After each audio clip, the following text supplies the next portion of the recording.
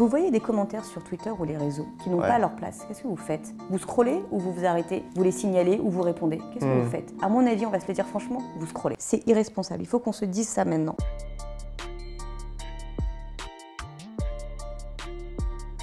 Elle est secrétaire d'État chargée de la jeunesse et du SNU. Aujourd'hui, Prisca Thévenot est face aux jeunes. Bonjour. Bonjour. Merci, euh, merci d'être là, merci de nous avoir accueillis euh, au sein du, du ministère. Merci beaucoup. Moi, ma première question, parce que vous savez, on est une émission à destination des jeunes. Qu'est-ce qu'on y fait ici concrètement? Eh bien, on y parle, on y euh, travaille et on y fait pour les jeunes. Mais on n'y fait pas simplement pour les jeunes, on y fait avec les jeunes, si vous me permettez cette euh, expression euh, pas très jolie, mais pourtant efficace. L'enjeu que nous avons euh, ici au ministère de l'Éducation nationale et de la jeunesse, et en particulier au secrétariat d'État à la jeunesse, c'est pas simplement d'être assis ici. D'ailleurs, je crois que depuis euh, quatre mois que j'ai été nommée, c'est la première fois que je viens dans ce salon. D'accord, Donc merci de m'y inviter, finalement. je vous en prie. Euh, non, l'enjeu qu'on a, c'est effectivement ici de travailler bien évidemment avec les administrations, ces hommes et ces femmes qui euh, sont euh, tous les jours en train de travailler pour nos jeunes. Mais mon enjeu à moi, en tant que secrétaire d'État, c'est surtout d'aller à leur rencontre. Non pas pour leur parler ou pour leur réciter euh, une leçon, mais bien pour les écouter et être dans cette démarche de co-construction. Donc ça nécessite un peu d'agilité au quotidien. Hmm. Et donc c'est la raison pour laquelle, ben, effectivement, vous êtes aujourd'hui dans les locaux euh, euh, du secrétariat d'État, mais qu'en réalité, j'y suis très peu. D'accord, donc effectivement, ça fait pas longtemps non plus que vous êtes secrétaire d'État. Euh, comment on devient secrétaire d'État? Est-ce qu'il y a un parcours type? Est-ce qu'il y a une fiche euh, ONICEP euh, pour devenir Comment on devient euh, secrétaire, secrétaire secrétaire d'État Ben, En fait, on a un téléphone qui se met à sonner à un moment, puis on a un message de la première ministre ou du premier ministre. D'accord, donc c'est directement la première ministre qui vous contacte? Ah bah, euh, c'est comme ça que ça se fonctionne sous la, sous la Ve République. Effectivement, euh, le Premier ministre euh, décide et choisit son équipe, bien évidemment, avec un échange avec le Président de la République. Blague à part, une fois que j'ai parlé de l'histoire du coup de fil, du coup de fil que pour le coup j'avais reçu euh, dans l'hémicycle, parce que j'étais dans l'hémicycle à ce moment-là, D'accord. Vous avez réagi comment à ce moment-là? En réalité, euh, beaucoup me disaient qu'on allait m'appeler. D'accord.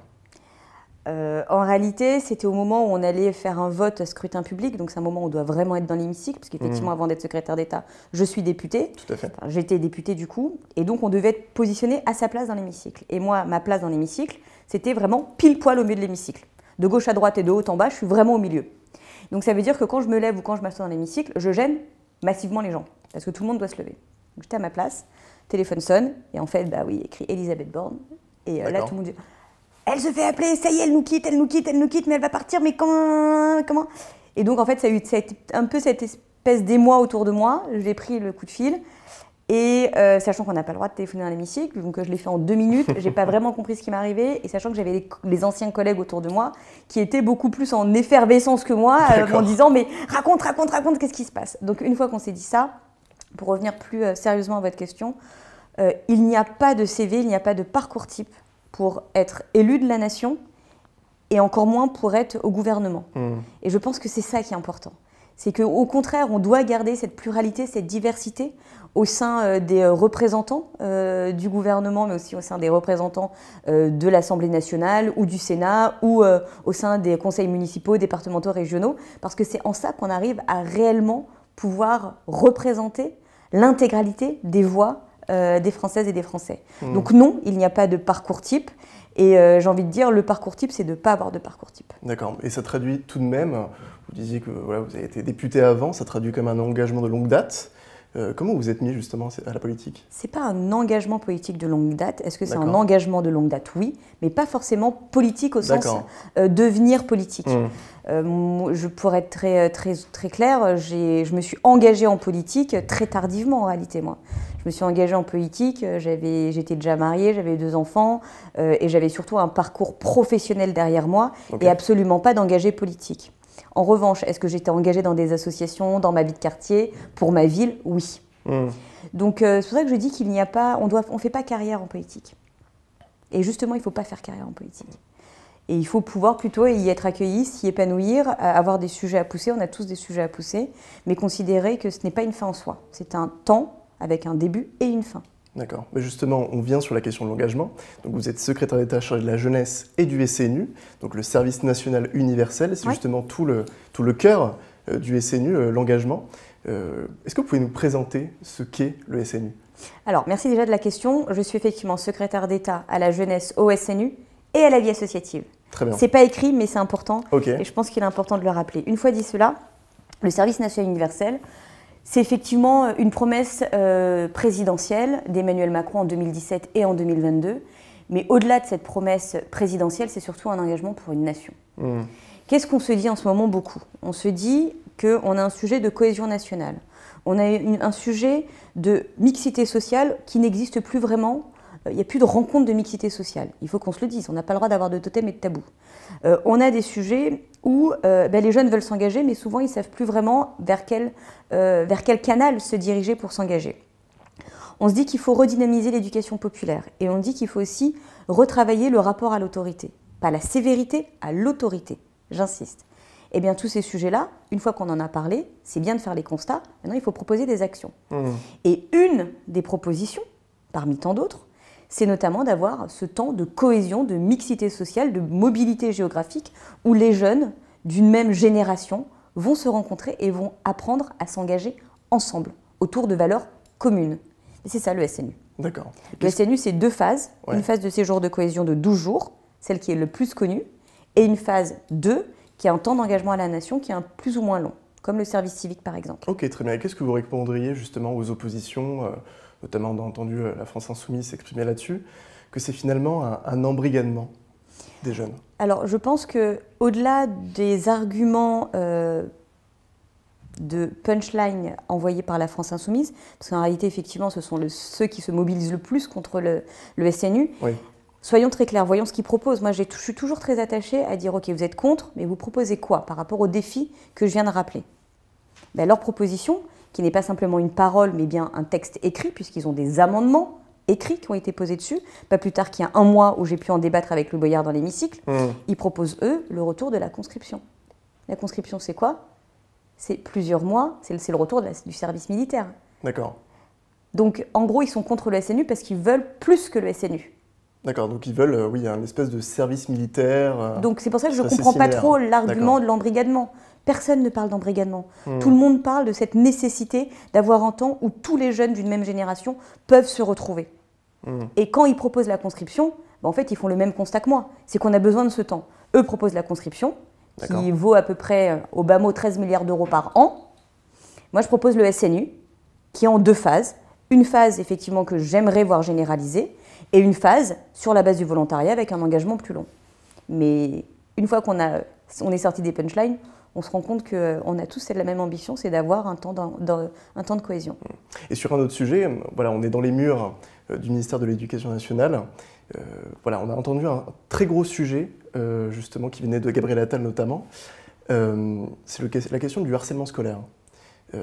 Comment on lutte contre ce fléau? Et déjà, on en parle. Parce que Ouais. le, plus, le plus important dans ces, dans ces fléaux, c'est que pendant longtemps, ils, sont, commencé- ils ont pu prospérer parce qu'il y avait le- la règle du silence. Du tabou. Personne, personne n'en parlait, exactement. Personne n'en parlait. Et quand on en parlait, c'était très minimisé. C'est une chamaillerie, Mm. c'est une, c'est, c'est une prise de bec entre deux jeunes, ça va bien se passer, ils vont régler ça entre eux. Donc, le premier sujet, c'est enfin de tourner la page du silence. Deuxième sujet, c'est être en capacité de faire en sorte que la parole qui se libère puisse être correctement accueillie et respectée. Et le troisième volet, c'est d'être en capacité de mettre en, en place des mesures pour venir tout de suite stopper le harcèlement et venir aider et le harceler et mettre en place des mesures contre le harceleur qui, rappelons-le quand même, souvent, harceler, harceleur, la frontière bouge assez souvent. On parle quand même de très très Mmh. jeunes. Donc une fois qu'on a mis ça en place, et bien ensuite on se déploie. Donc Gabriel Attal a annoncé un certain nombre de mesures euh, pour lutter contre le harcèlement et l'ensemble des ministres concernés, eh bien on est venu se greffer sur cela pour venir voir comment on pouvait apporter notre pierre à l'édifice. De façon très claire ici, euh, moi j'ai en charge effectivement le SNU, j'ai en charge la jeunesse, j'ai en charge la vie associative, j'ai aussi en charge le service civique.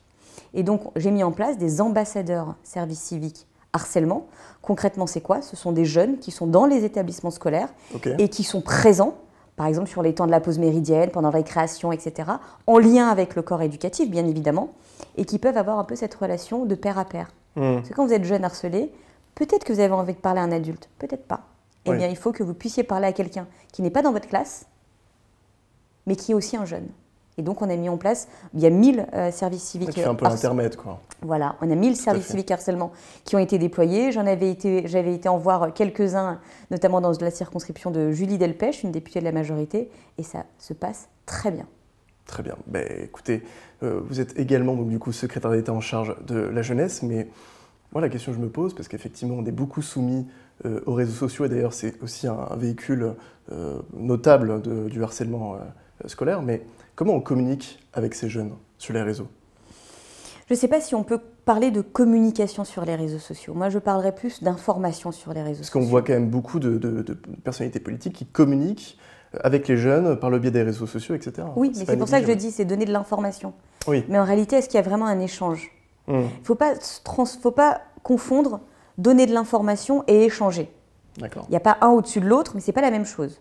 Quand je tweete ou que je poste quelque chose sur Instagram, je ne suis pas dans un échange, je vous le dis franchement. Mmh. Soyons honnêtes. Je suis dans de la communication d'information. Mais euh, si je lis pas ce qu'il y a en dessous et si je n'y réponds pas, pas d'échange. Et par exemple, sur Twitter, je peux vous le dire, tout à l'heure, je me suis encore un peu amusée, ça fait très longtemps que je ne l'avais pas fait. J'ai regardé un peu les commentaires qui sont en dessous. À part de l'insulte, du racisme, de la misogynie, bon, moi, c'est vrai que c'est beaucoup plus de racisme que, que les autres sujets ça c'est un autre sujet encore, mmh. euh, il n'y a pas de, pas de volonté d'échange. Donc oui, il est important qu'on puisse communiquer de l'information. En revanche, il est fondamental, fondamental qu'on puisse mettre en place des canaux d'échange. D'accord. Et c'est la raison pour laquelle, je vous, je vous, dis de façon très claire, moi les jeudis et les vendredis dans mon agenda, c'est des moments où je vais à la rencontre des jeunes, non pas pour leur parler, mais pour échanger avec eux. D'accord. Mais ce n'est pas un début et une fin d'échange. J'ai euh, dans mon petit téléphone euh, des boucles WhatsApp. Ok. Et donc j'ai autant de boucles WhatsApp que de rencontres que j'ai faites. Après, on ne peut pas répondre. Si, Sur les canaux bah, WhatsApp, on peut répondre? Ben, Moi, j'ai mis une... Vous n'avez pas des boucles WhatsApp avec vos familles? Ah, d'accord, ok. C'est plus dans ce sens-là hein? Moi, j'ai une boucle WhatsApp avec ma famille. Hmm. Ben, j'échange et c'est le même principe. Donc j'ai des boucles WhatsApp avec des jeunes en Creuse, euh, la Courneuve. Là, on en a une des, différentes. Là, on, a reçu des jeunes euh, au, ministère. Donc pareil, on a eu ce truc. On a, on a envie de continuer et se voir pendant deux heures. Bah, en fait, on n'a on pas le temps de tout se dire. Mmh. Et donc, bah, on alimente, on se parle. Alors il y a des règles qui sont mises en place, c'est-à-dire qu'on ne met pas de tweets dessus. On ne met pas du spam. Euh, on peut se raconter nos vies. Vous On peut se raconter des blagues. On se parle de tout. Hein. D'accord. Et à l'inverse, moi aussi, de temps en temps, je leur dis, ben voilà, ça, j'ai mis en... enfin, ça, ça va être annoncé, ça, ça va être lancé. Qu'est-ce que vous en pensez On se parle de tout. Euh, typiquement, il y a une des boucles où euh, on se parle aussi, par moment, je... on, se met un peu des, pas des, des taquets, mais on, on, se parle des choses, quoi. Et c'est beaucoup plus simple. Euh, là, on va se voir, imaginons, on se voit pendant une heure. Vous allez me dire, alors moi, je suis, je suis un président d'assaut, j'ai ça, j'ai ça, j'ai ça, j'ai ça, ou je suis un jeune étudiant et j'ai ça, j'ai ça, j'ai ça. Dans trois jours, vous avez sûrement encore plein d'autres trucs à dire, et moi j'ai peut-être encore plein d'autres trucs à dire, et on ne va pas se caler encore un autre rendez-vous. Oui, donc du coup, on fait échanger sur. Eh ben donc, on échange avec nos canaux. Donc c'est pour ça que je dis attention à la différence entre communication de transmission d'informations et communication de mmh. volonté d'échange. C'est pas la même chose. Donc effectivement, vous parliez euh, effectivement de, de racisme, d'homophobie qu'il peut y avoir parfois sur les réseaux. Euh, je pense que c'est très présent euh, sur TikTok et on sait que la plateforme TikTok est très prisée par les jeunes. Voilà, on peut voir beaucoup d'idées radicales euh, et notamment dans un contexte où on voit une montée de l'antisémitisme. Comment justement on, dit à ces jeunes finalement de se calmer un peu sur les réseaux? Comment on essaie de, canaliser un peu toute cette violence Je pense que tout le monde doit prendre sa responsabilité. Tout le monde doit prendre sa responsabilité. Mmh. Je suis désolée, moi quand je vois que ce soit des propos racistes, homophobes, antisémites, misogynes, enfin tous les sujets de haine, tous les discours de haine, on a tous notre responsabilité. Et de considérer que c'est que le politique qui doit faire sa part de responsabilité, je pense que c'est le début de la fin. D'accord. Je pense vraiment que c'est le début de la fin. Aujourd'hui, nous avons tous les textes à disposition pour venir lutter contre cela. On parle quand même de délit. L'antisémitisme, non, tout le monde, vous. D'accord, très bien. vous, vous voyez des commentaires sur Twitter ou les réseaux qui n'ont pas leur place. Qu'est-ce que vous faites? Vous scrollez ou vous vous arrêtez Vous les signalez ou vous répondez Qu'est-ce que hmm. vous faites? À mon avis, on va se le dire franchement, vous scrollez. On scrolle, tout à fait. C'est irresponsable. Il faut qu'on se dise ça maintenant. Je ne suis pas en train de vous, je le fais exprès de vous taquiner, hein. mais je pense qu'on doit tous prendre notre part.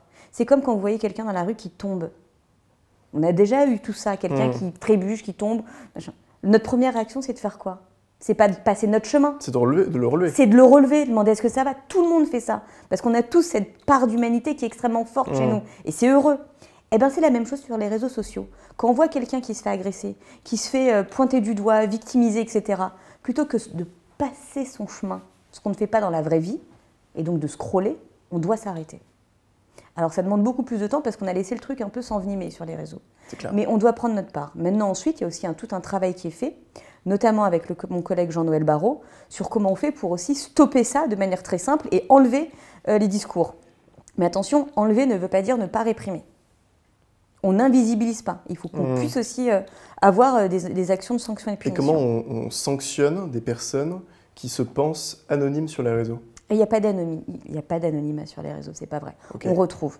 On retrouve, et ça a été vu dans plusieurs cas, notamment, des gens qui sont retrouvés devant la justice, et ça il faut le dire. Et euh, je le dis notamment pour, parce que moi j'ai une vie pro avant et je travaillais sur ces sujets-là, Hmm. il n'y a pas d'anonymat. Mais je ne suis pas en train de menacer. Plutôt que de menacer, j'aimerais plutôt qu'on se responsabilise tous. Attention, j'ai dit responsabiliser, pas culpabiliser. C'est pas mon point. Je suis Hmm. pas là pour culpabiliser les gens. Et en plus, je vois, je sais pas à quoi ça sert de culpabiliser. Je pense qu'il faut qu'on se respons- responsabilise. On est tous engagés, vous êtes engagés au travers de votre chaîne pour euh, vulgariser, communiquer sur certains sujets. Donc vous êtes des engagés. Je suis une engagée dans ma fonction politique, mais je suis aussi une engagée de tous les jours. Je suis, maman d'é- je suis, je suis parent d'élèves. Voilà, on est tous engagés. Mais cet endroit des réseaux sociaux doit aussi être un lieu d'engagement. On doit profondément le réinvestir tous ensemble. Hmm. Et, et je pense que ça peut mieux se passer. Il y a des réseaux d'ailleurs où ça se passe un peu mieux. Souvent, moi je vous regarde, j'ai pas les mêmes communautés que ce soit euh, sur Insta, sur Twitter euh, ou euh, sur Facebook. C'est pas les mêmes communautés. Sur Insta, par exemple, j'ai une communauté extrêmement bienveillante. Mhm. Je connais pas les gens. Après, c'est pas une grosse communauté. hein, je un peu pas- plus âgé aussi. mais non, parce qu'en fait, je pense que c'est une communauté que j'ai depuis plus longtemps. Euh, J'y mets mes enfants, etc. Peut-être un peu plus familiale. Hmm. Sur Twitter, mais franchement, je. Si je Oui, m'amusais, je, je me pensais marrant, je- avant de venir vous voir, là, j'étais dans l'hémicycle et je pensais à ça et je me suis dit, ah, mais je vais re-regarder un peu. Puis bon, je regarde un peu les, les commentaires et ça faisait longtemps et je me suis dit, bah voilà, je me suis dit, ah, peut-être qu'il y a moins de racisme, etc. J'ai systématiquement, au moins une à deux fois par tweet, le qu'est-ce que tu serais mieux comme ministre dans ton pays? Ça choque personne. C'est quand même violent. Hmm. Et on scroll. Et, et on scrolle. Et tout le monde scrolle. Non, quelques-uns vont liker. Pardon. Quelques-uns vont quand même liker. Hmm. Donc je pense que sur ça, il faut qu'on puisse réagir. Sur l'antisémitisme, on doit tous se mobiliser. Sur le racisme, on doit tous se mobiliser.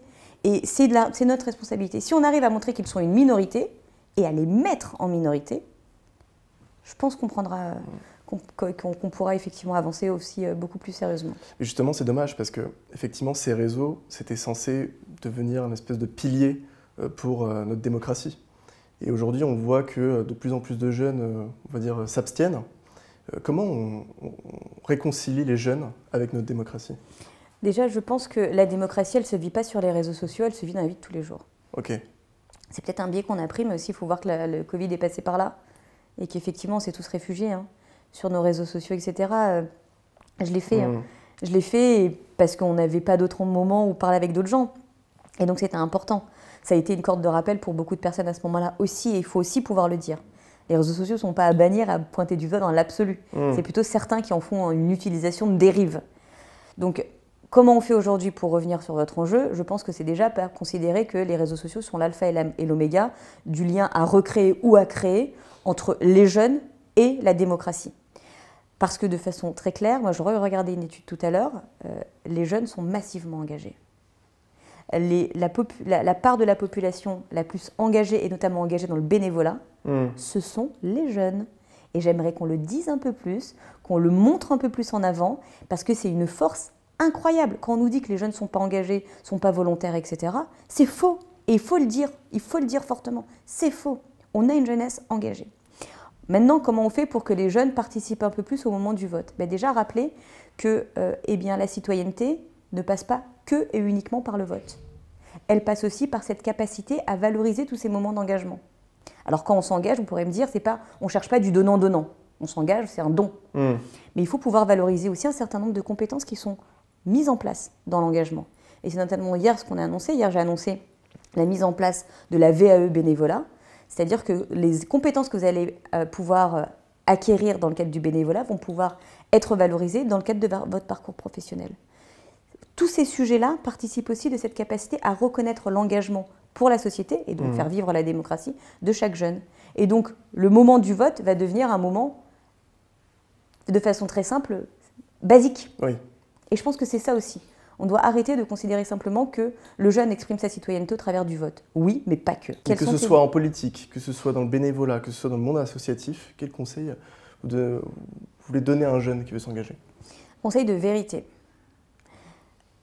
S'engager, la première chose, attention, vous allez peut-être dire, mais qu'est-ce qu'elle raconte C'est pas, pas du tout, ça donne pas envie, mais s'engager, c'est jamais facile. Hmm. S'engager, c'est jamais facile, mais c'est possible dès l'instant où on comprend qu'on ne s'engage jamais seul. Il faut toujours s'engager, enfin en tout cas c'est ce que je me suis, je vous donne mon expérience, toujours s'engager euh, entouré et assumer d'être en capacité de s'entourer et d'avoir de le faire entourer. Euh, parce qu'on a toujours tendance à penser aux, aux politiques euh, solitaires. C'est faux, il faut arrêter. Mmh. Il n'y a, a, pas l'homme providentiel, il y a toujours une équipe, avec une personne qu'on voit un peu plus, mais il y a toujours une équipe. Et donc l'engagement n'est pas forcément facile, il est toujours possible quand c'est en équipe. Et honnêtement, euh, il y a des moments durs, mais les moments où franchement ça se passe bien, on a des moments de fou rire là comme là avant d'arriver pour venir vous voir, on est en fou rire dans le, dans le couloir je veux dire, c'est aussi ces moments, ces moments hmm. de rencontre. On s'engage pour une cause, on s'engage pour des personnes, mais parce qu'on le fait avec d'autres, c'est des moments fabuleux. Et là, nous, on est en train de se parler tous les deux, mais il y a votre équipe qui est tout autour. Tout à fait. Et on serait tous les deux, ça serait pas la même chose. Et je pense que c'est ça aussi, parce que vous prenez plaisir à le faire tous ensemble. Et, ça, il faut le rappeler. Donc moi, discours de vérité, discours d'importance de l'équipe, hmm. et ensuite ne pas hésiter à dire, ben, je ne sais pas comment faire, j'ai besoin d'aide. Il y aura toujours quelqu'un pour, euh, pour, euh, pour y répondre. Merci Prisca Tevno.